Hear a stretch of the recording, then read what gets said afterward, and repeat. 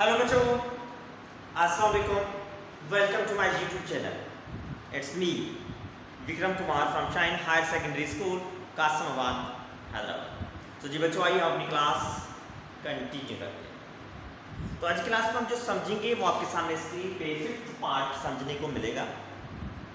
Fifth part में क्या है, कैसे सॉल्व करेंगे, ये समझना है। समझने के लिए रेडी है? फुली कंसंट्रेशन रहें रेडी रहें समझने के लिए।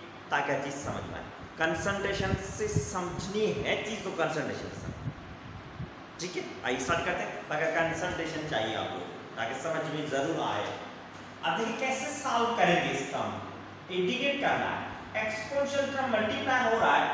फ्रैक्शनल टर्म के साथ, मगर फ्रैक्शनल टर्म में ट्रिग्नोमेट्रिक टर्म डिवाइड में मल्टीप्लाई सही?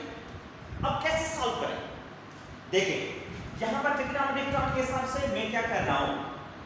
sin x की जगह पे two sin x upon 2 multiply by cos x upon 2 half angle formula ये आपने फ़र्स्ट ईयर में पढ़ा ज़रूर होगा है तो sin को रिप्लेस करेंगे by using this formula and denominator में 1 प्लस cos x जो है, ये है 2 cos स्क्वायर x अपान 2 इसको रिप्लेस करेंगे बाय दिस फार्मूला तो ये दोनों फॉर्मूलाज हम अप्लाई करेंगे पहले। ठीक है बच्चों? ये समझ में आया? क्या है? फॉर्मूला अप्लाई करेंगे। अब देखिए कैसे अप्लाई करेंगे? कैसे सॉल्व करेंगे? यही आप लोगों को समझना है और x one plus sine x की जगह पे ये complete formula two sine x upon two cos x upon two divided by plus cos x की जगह पे ये आ जाएगा complete factor two cos square x upon two and d x सही क्लियर जहाँ तक? अब देखिए आगे क्या होगा। अब e पावर x है one divided by two cos square x upon two ठीक वन से लिखा सेकंड ये टर्म है। सेकेंड टर्म है two sine x upon two cos x upon two complete एक ही टर्म है। इसको भी two cos square x upon two and d x सही है क्लियर है? दोनों टर्म से जो डिवाइड टर्म था सेपरेट लिखा।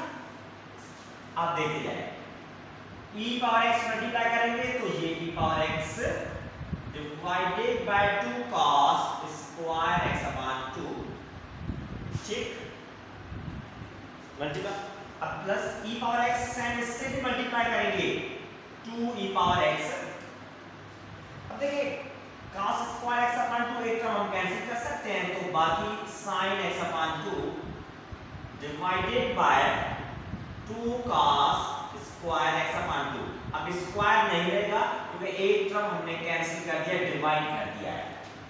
ठीक है बेटा? ये चीज़ समझ में आई? क्लियर है? ठीक है? अब आगे मूव होते हैं। कंसंट्रेशन से समझेंगे, ज़रूर हर चीज़ क्लियर होती जाएगी। अब देखें e power x divided by 2 cos square x upon 2 dx दोनों को सेपरेट इंटीग्रेट कर रहा हूँ। और यहाँ पर 2 2 भी कैंसिल हो जाएगा, बाकी e power x sin x upon 2 divided by cos x upon 2 and dx. Clear ये चीज़ भी ओके बच्चों? ठीक है? या, अब देखिए। पहले सिंप्लीफाई करेंगे सब टर्म्स को, बाद में इंटीग्रेट करते हैं, ताकि आप लोग समझ सके अब e power x upon 2 plus x square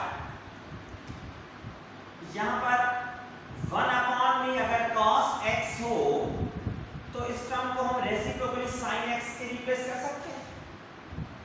सही है तो मैं इससे मैं क्या कर रहा हूँ? ये जो फ़र्स्ट फैक्टर जिसको लिखा है e power x divided by 2 यहाँ पर sec x upon 2 square upon में cos है। मींस sec x तो 1 अपॉन cos की जगह पे sec स्क्वायर यहाँ पर स्क्वायर क्लियर जी स्टेप टू डिवाइड में वो सेंटर ठीक है बेटा? Plus second term sine. अब देखिए नेक्स्ट स्टेप देखिए। E power x sec square divided by 2 divided by 2 है। e power x, sin x upon 2 divided by cos x upon 2 को हम टेंजेंट x अपॉन 2 लिख सकते हैं। sin upon cos means tangent है। टेंजेंट लिखा उसको इक्विवेलेंट ठीक? यहाँ पर हवाला भी दे रहा हूँ ताकि आप कंफ्यूजन ना हो। Sin upon cos angle same होगी। टेंजेंट की जो एंगल होगी वो क्लियर अब नेक्स्ट स्टेप में इंटीग्रेशन ऑफ़ दोनों में e पावर x कॉमन है। तो मैं क्या कर रहा हूँ? कॉमन ले रहा हूँ। 1 divided by 2 sec square x upon 2 plus tangent x upon 2 and dx e power x common ले दोनों में कॉमन है। क्लियर जाता अब देखें नेक्स्ट स्टेप में समझने की कोशिश करेंगे तो ज़रूर समझ में आएगा। ये वन अपॉन टू आगे जो मौजूद है एज ए कोफिशिएंट फॉर्म में एज ए कोफिशिएंट के तौर कम कर इस क्रम के साथ मौजूद है। ठीक है? अब देखिए, यहाँ पर फॉर्मूला भी यूज़ का होगा कौन सा फॉर्मूला लिखते हैं। यूजिंग फार्मूला कौन सा formula integration form e power x के साथ जो फ़ंक्शन मौजूद है, उसके साथ प्लस में उसी फ़ंक्शन की डेरिवेटिव मौजूद हो। तो ये exponential term into f of x plus constant of integration c formula. Assignment सही है? तो इस according to this formula integration of given function is equal to 1 upon 2 ये तो कोएफिशिएंट है सेम रहेगा। E power x. अब देखिए sec स्क्वायर x फ़ंक्शन है। Sec स्क्वायर x की जो डेरिवेटिव है वो tangent x upon 2 upon fraction term है? तो उसके साथ ये मौजूद है 1 अपॉन 2 है? सही है? तो means e power x sec square सही है? नहीं? क्योंकि टेंजेंट की डेरिवेटिव sec है। sec स्क्वायर x की इंटीग्रेशन है। एंड समझ? में ठीक है तो उसके हिसाब से मैं कैसे लिख रहा हूँ उसको? कैसे समझाऊं आपको? ये तो कॉमन ले लिया हमने। One upon two sec square upon two. ठीक है? एक स्टेप और बढ़ाते हैं, ताकि इजीली समझिए और एक्स रीअरेंज करेंगे। तो पहले tangent upon two plus one upon two sec square x upon two. Bracket over and अब देखिए फ़र्स्ट फ़ंक्शन इसकी जो डेरिवेटिव है वो ये है। इस फ़ंक्शन की जो डेरिवेटिव है वो ये है डेरिवेटिव अब समझ में आया रीअरेंज करने के बाद, ठीक है बच्चों? रीअरेंज करना ज़रूरी है। तो फॉर्मूला के हिसाब से e पावर x है।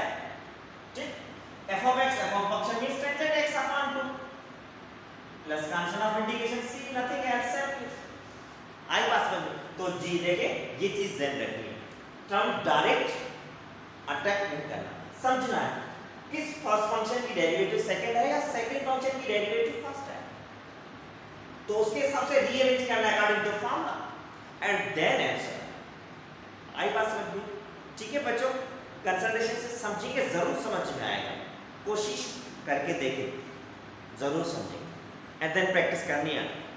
ओके तो फाइनली आप लोगों का फ़र्स्ट बनता है कि इस यूट्यूब चैनल को ज़रूर सब्सक्राइब करें शेयर करें। उसके साथ बेल आइकन को प्रेस करें ताकि हर जो वीडियो अपलोड होगी, आपका नोटिफिकेशन आएगा उसको। प्रॉब्लम बाय प्रॉब्लम समझेंगे, सीखेंगे टाइम पे कंप्लीट कर सकेंगे। ओके बच्चों, अल्लाह हाफिज़।